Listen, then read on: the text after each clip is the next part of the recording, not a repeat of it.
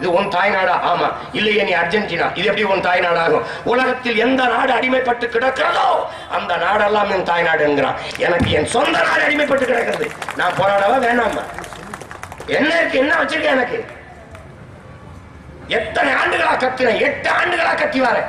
குடிக்க நீர் இல்லாம நம்ம தவிச்ச வாயோட குடத்தோட சாக வைப்பா இவனுக்கு தண்ணி கொடுக்க துப்பு இல்ல இவன் கெடுத்துருவாங்க. நாட்டை சுடுகாராக்கி கொண்டிருக்கிறாள் நான் கதறேன். எளிய மகன் என் பேச்சை நீங்க யாரும் கேட்கல. குடும்பம் நடத்தணும் அரசு நடத்தணும் உழவு நடத்தணும் வியாபாரம் நடத்தணும். எல்லாத்தையும் மாறிட்டான் சீமானை ஏன் நீங்க மதிக்கிறது இல்ல? இங்க நம்ம கபடி விளையாட்டு தெரிஞ்சவைய இந்த இந்த பையன் இவனா? இட்லி நம்ம இட்லி தான். ஆனா குஷ்பு இட்லி ஓவியா இட்லின்னு பேர் வச்சா தான் சாப்பிட தோணுது. இல்லைன்னா இது அம்மா அந்த அதெல்லாம் தோணல. நேத்து ஒரு ஒரு நம்ம டாக்டர் ஒருத்தர் எடுத்து பேசுறாங்க. எங்க இந்த கடையிலங்க பாகுபலி தோசை பிக் பாஸ் இட்லி ஓவியா இட்லி எல்லாம் விற்கிறாங்க இங்க எப்படிங்க ஓவியா இட்லி கொடுங்கன்னு நம்ம கேட்கறதுக்குறாங்க கிட்டப்பட்டுச்சு ஒரு கரும்பச்சையில இருக்கும் ஆனா செவ்விலனி மேல இவனுக்கு ஒரு மோகம். அது சிவப்பா இருக்கு பாருங்க. ஒரு செவிலனி அது ஒரு கருமம் இல்ல சவக்கழிச்சுட்டு இருக்கு. ஒரு பத்து என்றால் எப்படி பத்து என்று கேள் என்று ஐயா பெரியார் சொன்னார்.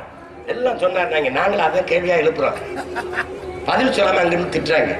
ஆனா இவர்கள் எல்லாருக்கும் முன்னாடி எங்கள் தாத்தன் எங்கள் மூதாதை பாண்டான் எப்பொருள் யார் யார் வாய் கேட்பினும் அப்பொருள் மெய்ப்பொருள் காண்பது அறிவு. என்று பாடினார்